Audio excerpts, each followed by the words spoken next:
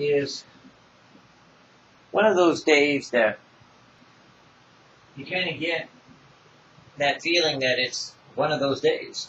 and no matter what you do or what you try to do, you just don't feel good. You don't feel right. You feel out of touch. You feel like things just aren't quite up to snuff or up to par.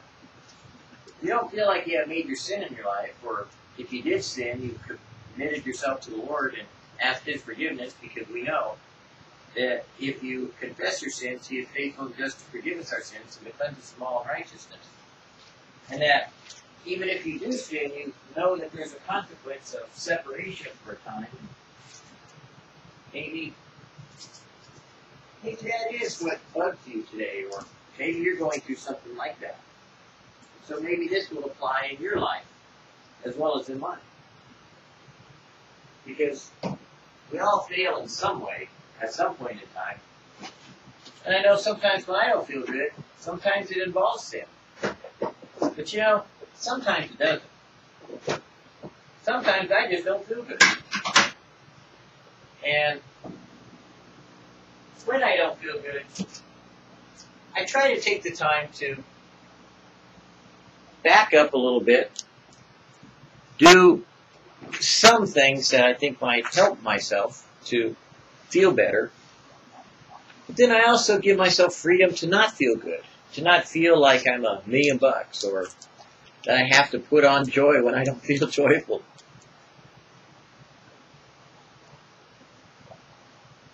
That I don't have to put on a spiritual front, but that I can be real with you or real with my God.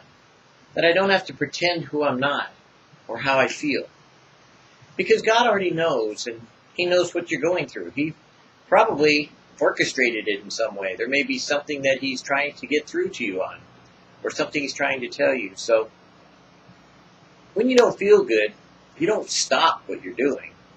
You seek the Lord more so and then just keep going.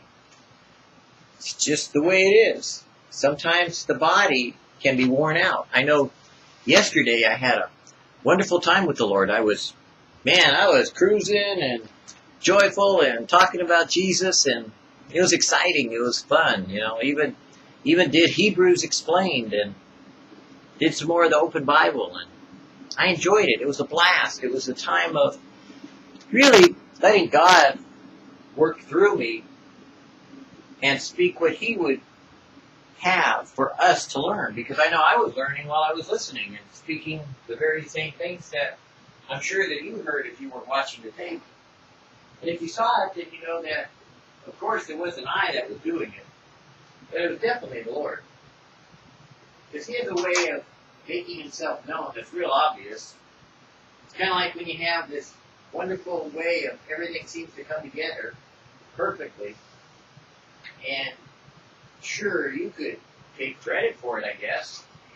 I guess you could call me some kind of like wonderful Bible teacher or something, but while you might call me that, or while you might think that, I don't think you would convince me of that because you see, I know who I am. I don't have any illusions. And if you watch these videos long enough, you won't have any illusions either about me. Praise the Lord. But to keep ourselves from being deluded, we have to recognize that God lives in us.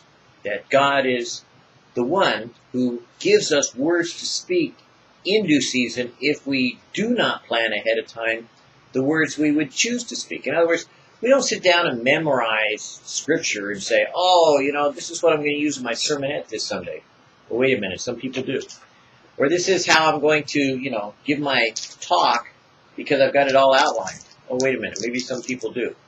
And this is the way that Jesus said to do it, but when you come up before magistrates and before the people and you get ready to think you have to say something in a certain way, then don't think about it because your Father will give you what you need to speak in that moment and that you wouldn't have to plan it ahead of time. So, what are we doing planning it ahead of time? Why are we worried about what we're saying? Why do we have these hours of preparation, days, to give a talk on a Sunday. When Jesus said, Don't worry about it. The Holy Spirit will give you what to speak in that moment. I don't know. I think that's something you'll have to answer for yourself. But I know for me, when I don't feel good, I'll take the time, you know, that I need for my body to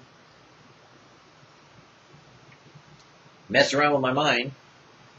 But then I'll come back to the place that I know that I can always trust in. And that's the Lord. I'll always bring it back to my relationship with God and my devotions. I'll always go and seek to find what it is that God may be trying to tell me that maybe I haven't heard or thought of. And so today, as I don't feel good,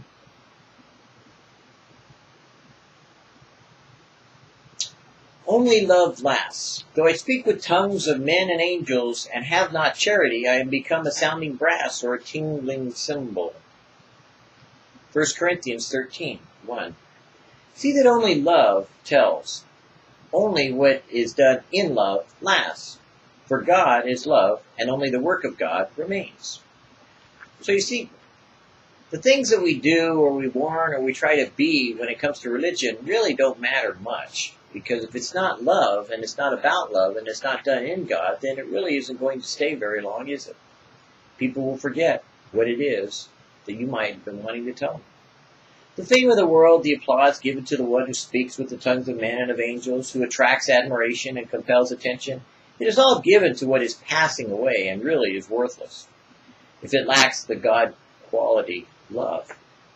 The thing that always amazed me was messages that don't have love in it, people seem to think that that has more power in it. And I see that the messages that show the love of God seem to have more effect on people. That when God's love is made manifest, then people seem to draw themselves closer to God than they would when they hear some other powerful message that's, oh, sounds awesome, but few respond. Think how a smile or a word of love goes winged on its way, a God power sent, sent though it may seem, while the mighty words of an orator can fall fruitless to the ground. The test of all true work and words is, are they inspired by love? You know, the condemnation messages are easy to put together. Everyone can see something that they don't like and comment on it. The problem is, is that can you find things that you do like and confirm them that are about to fall apart that maybe the person needs to be assured that the good that they're sharing is greater than the evil that is in the world. And sometimes when you just say thank you or God bless you, it goes a million miles farther than telling someone how wrong they are about something. If a man only saw how vain is so much of this activity, so much work done in my name is not acknowledged by me.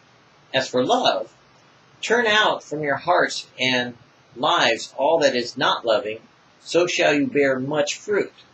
And by this shall all men know you are my disciples, because you have love towards one another.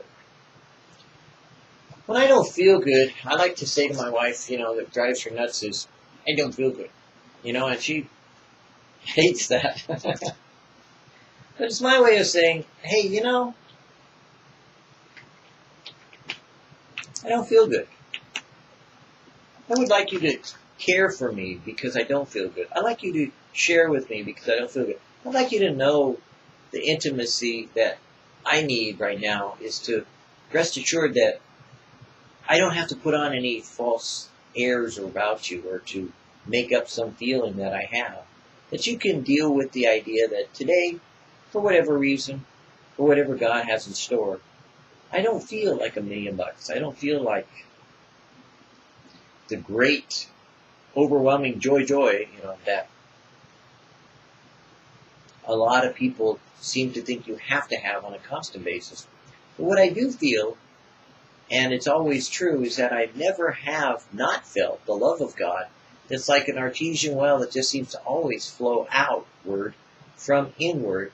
And God always seems to flow on me, His love, whenever I don't feel good. So maybe that's a word for you. It's that, say you've blown it, you know, and you're in sin. Confess it. Say you've made a mistake. You don't want to admit it. Tell them. Say you just don't feel 100% and you're trying to make things work that just aren't working. Just say you don't feel like it. Because God has His timing. God has His purpose. God has His plan. Because He loves you, He won't let you conjure up the feelings when they aren't there. He won't let you promote something that's false. He won't let you go forward until you're ready to move again. So be still if you must. Rest in the Lord. Trust in His mercy and His kindness, and let Him shine upon you as you recover your way, His will, His word, and His comfort by way of His Holy Spirit as you don't feel good maybe today about whatever it is that God has brought your way. Because sorrow, though it may endure for but an evening, joy does come in the morning. And though that may be fleeting at times when you don't feel good, there is that promise of God that in due season, if we faint not, we shall reap. And so trust Him with that promise that you will once again feel better than what you might feel today. I know I will. I have that assurance and that confidence in my God. So take it from there. If you got no other faith to believe in, then just believe in that. You will feel better tomorrow if you don't feel that way today. God bless you.